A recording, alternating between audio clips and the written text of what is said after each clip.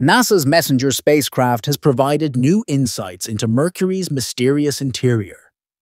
Scientists analyzing crustal composition discovered widespread carbon-rich deposits and graphite, evidence that the planet once contained vast magma oceans.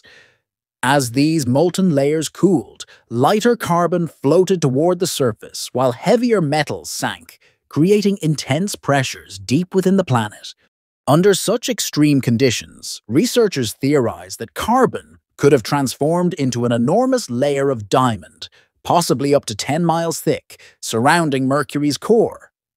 If confirmed, this structure would be one of the largest diamond formations in the solar system, hidden beneath a surface hotter than an oven and shaped by violent early planetary activity.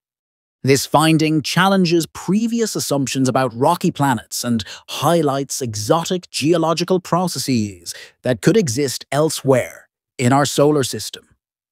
It offers scientists a rare opportunity to study planetary evolution under extreme conditions and provides a new perspective on how carbon behaves in high-pressure environments beyond Earth. Please help the channel to grow only just by click on subscribe button now.